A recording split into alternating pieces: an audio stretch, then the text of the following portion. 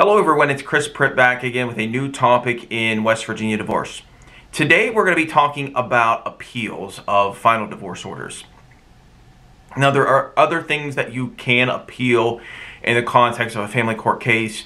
There are, uh, for example, appeals of domestic violence protective orders. There's appeals of um, orders that relate just solely to custody cases. There are other types of appeals that you might see in family court. But today we're going to be talking about appeals of um, final orders in a divorce action in West Virginia.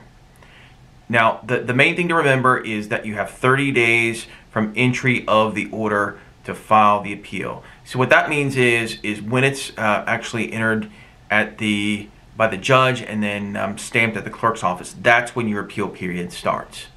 So it's very, very important that you get your appeal in uh, when uh, you're supposed to get it in, if in fact you want to file the appeal.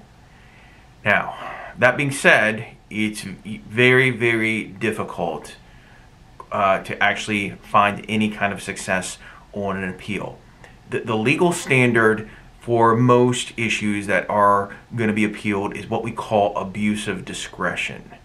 So in family court, for the most part, and in particular divorce matters, what the law is is such that the the court has um, a, what we call a wide degree of discretion as to what they do, and what that means is is they they're going to take a look at the facts and the law, and then they're, they're going to generally use their judgment to do what's equitable. Now there are certain things that are a little bit more clear cut. So for example, um, dividing property that's a little bit more clear cut than for example whether to award alimony, or and it's more clear cut than, for example, um, how a, a parenting plan is going to be taken up.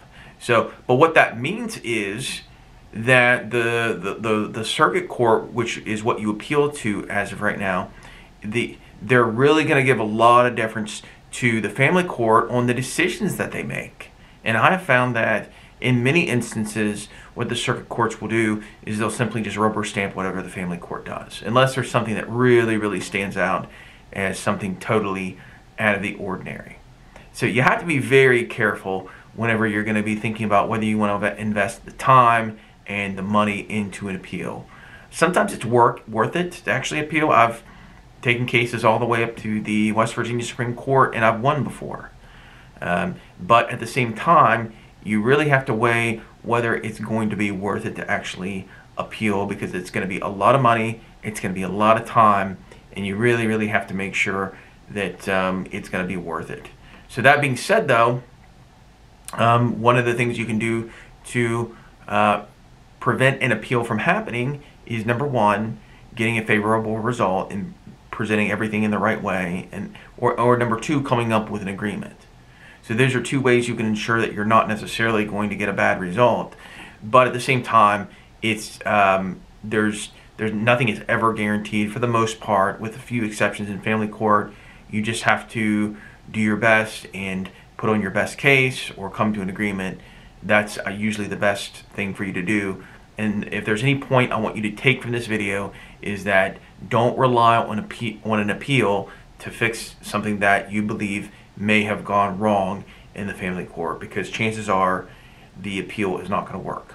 So that consists of today's video. If you have any questions at all, feel free to give us a call or send an email. Have a good day.